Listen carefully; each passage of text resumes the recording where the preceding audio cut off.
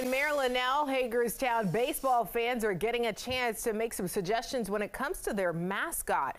The team itself just got its name a short time ago. Skylar Salas, who covers Washington County, had a chance to catch up with a few people who are making some suggestions of their own.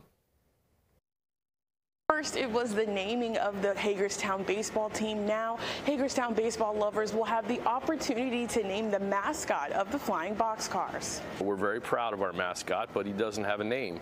Uh, so we're asking the public for their help. They did such a great job in naming the team, the Flying Boxcars, so why not let the public, the fans, come up with the name of our mascot? With nominations open, baseball fans can recommend a name for the Hagerstown Flying Boxcars mascot, and the team's director of promotions and marketing, Tom Burton, says it should be something special. This mascot is going to be the face of our team for many years to come. We're going to have the mascot out in the community, so we want want a fun name that uh, people are going to get behind and be, uh, be fun to say. Um, just uh, something exciting and fun is what we're looking for. Fans already aren't in short supply when it comes to suggestions. A good name for the uh, mascot for the Flying Boxcars would be Willie, uh, as in like Boxcar Willie.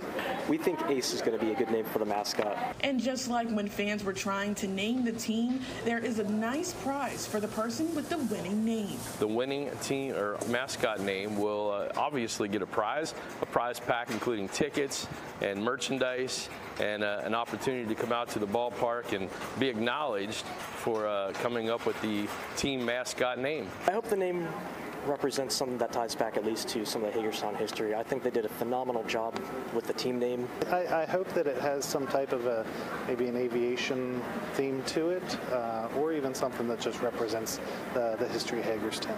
Now, baseball lovers can put their bid in for the mascot name up until November 15th. Reporting in Hagerstown, Maryland, Skylar Salas, DC News Now.